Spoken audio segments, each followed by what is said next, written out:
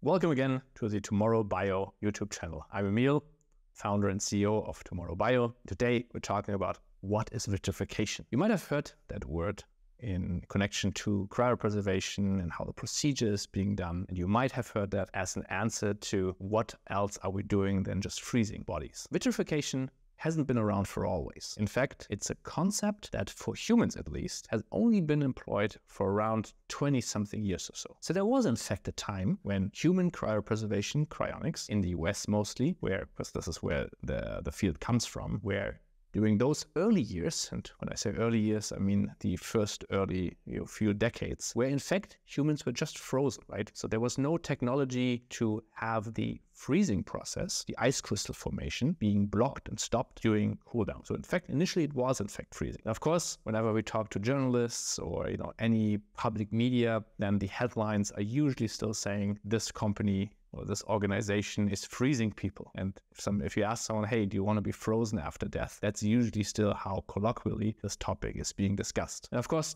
partly I get that because it kind of is a very, you know, simple image, you know, freezing and then unfreezing in the future. And then the only thing I can always do is kind of, you know, try to argue that in fact we do a lot to not freeze anything. In fact, a good amount of all the things we do is to have ice-free cryopreservation. Because ice crystals, as we discussed before, they're sharp, they have different types of you know factors that create the damage in, in the tissue. So we want to do everything to avoid freezing. And you do avoid freezing by so-called vitrifying the tissue. So vitrification is a process of how you be you're, you're able to cool down tissue to temperatures way below freezing point. In most cases in cryopreservation, somewhere between negative 140 and negative 196 degrees of Celsius. So normally, of course, you would get ice crystal formation if you cool down further than zero degrees. Now, with these cryoprotective agents, these are the solutions that allow us to cool down further than freezing temperature without ice crystals. And in fact, once you cool down low enough to vitrify the tissue. So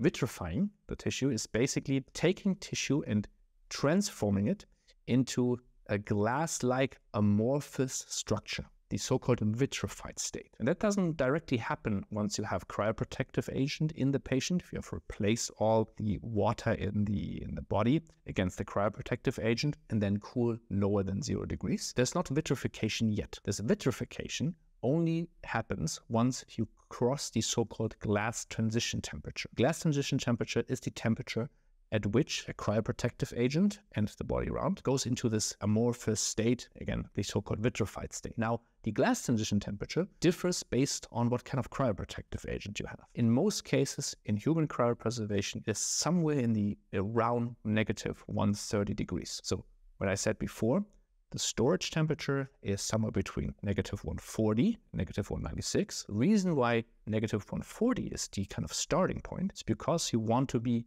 lower than the glass transition temperature. And since the cryoprotective agent have this glass transition temperature of, let's say, negative 130, you want to be at least a bit lower than that temperature to go into this vitrified state for long-term storage. Now at that stage, just like a glass, think of like a glass which is a very, very like highly, highly, highly, highly viscous fluid, right? So technically glass are fluids, at least to a degree, uh, or in, sim- in simple terms, but they're extremely, extremely viscous. So it's extremely, they flow very, very, very, very, very slowly. So that's exactly what you, of course, want in cryopreservation. You want to stop all biological processes, even molecules moving around. You want to stop that to not have any degradation processes ongoing. And once you reach that vitrified state, due to this extremely high viscosity that you have now reached, basically nothing moves anymore, right?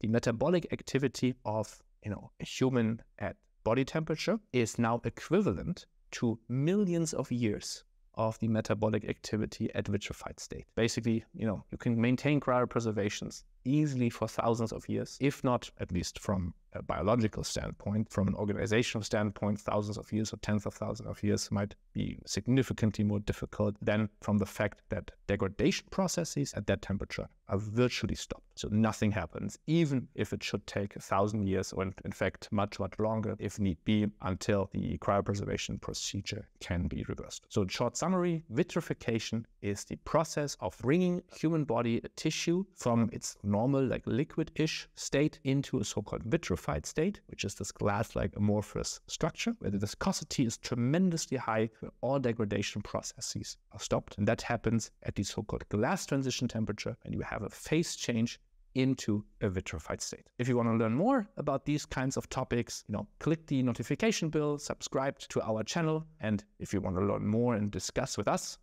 then we're more than happy to talk to you in person as well. So reach out at any time. Just go to tomorrow.bio and schedule a consultation with us or just reach out to have a talk.